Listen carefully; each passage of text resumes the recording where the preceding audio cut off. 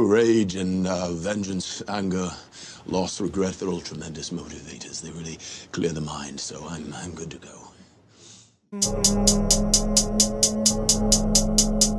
I just tell them that I'm fine, but I'm trapped up in my mind, thinking thoughts of suicide. Die! I wanna die!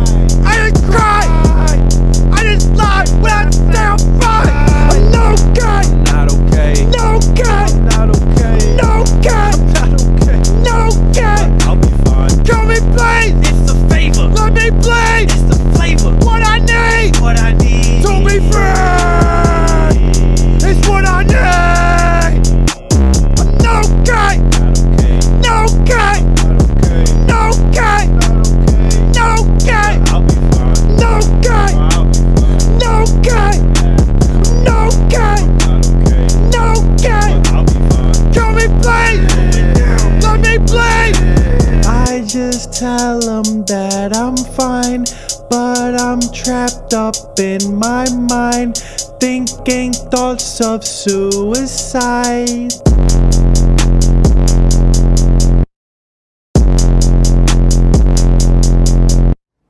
Oh, he's pissed. He thinks he failed. Which, of course, he did, but you know, there's a lot of that going around, ain't there?